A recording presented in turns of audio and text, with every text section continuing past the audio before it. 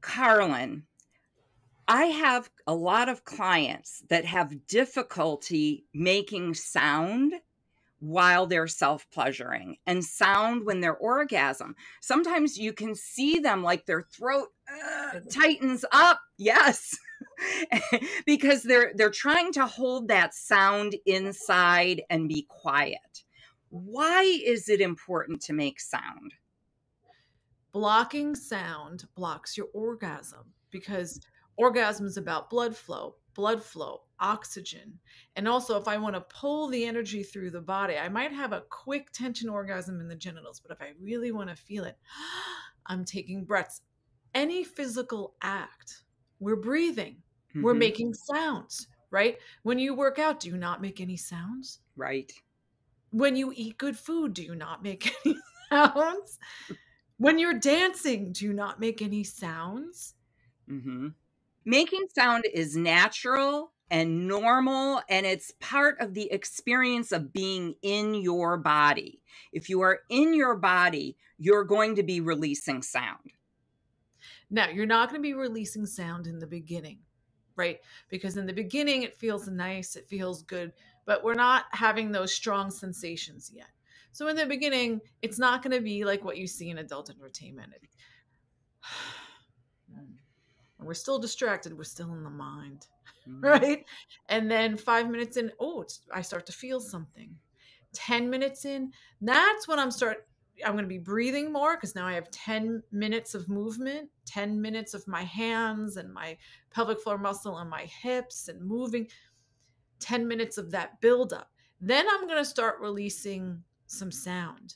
And really, the sound we release for the first orgasm is not the same as the third and fourth.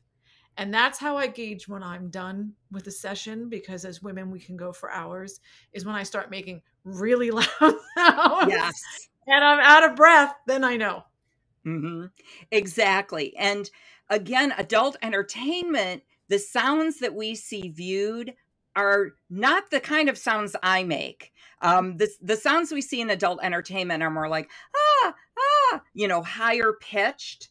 And I know when I get to the end, a couple of orgasms in, I am just much lower. It's like coming from my body, you know, down below where my vulva is. This, like, it just comes up through my belly and it's this low, deep sounds. Um, and, you know, I may say some words uh, we know the word you say, Laura. Right. F bomb. That's what I know. You're right. building up.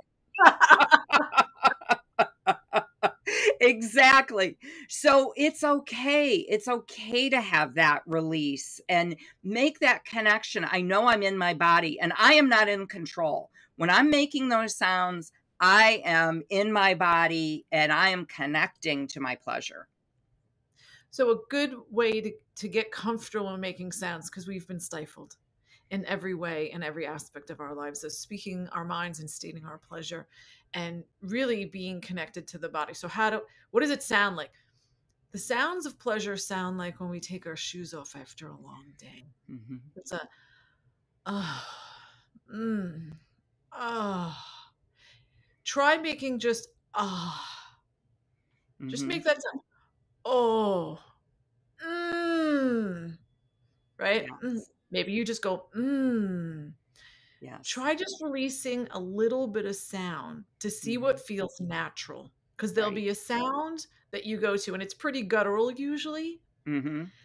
Um, let yourself just start to release, start to release. And there will be a moment where the body takes over.